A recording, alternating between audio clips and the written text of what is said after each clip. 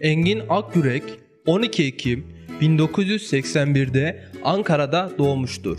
Aslen memleketi Erzincan'dır. Genç oyuncunun yeteneğinin keşfedilmesi katıldığı bir yarışma programında gerçekleştirilmiştir.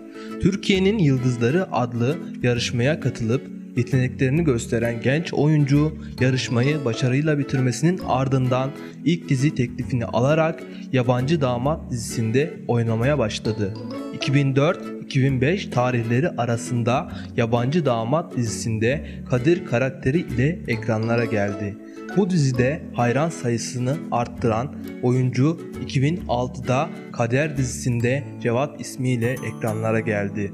Oyuncunun ilk kez başrol oynadığı dizi ise Ulaç İnanç'ın yönetmiş olduğu Bir Bulut Olsam dizisidir.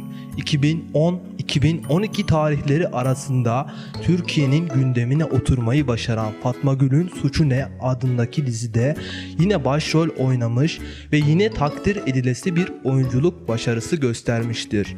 Dördüncü kez başrol oynadığı dizi ise son olarak 2017 tarihinde başlayan Ölene Kadar dizisinde Dahan rolünü canlandırmaktadır. Engin Akgüre'ye sanat hayatında başarılar dileriz. Videomuzu izlediğiniz için teşekkür ederiz. Kanalımıza abone olup videomuzu beğenmeyi kesinlikle unutmayınız.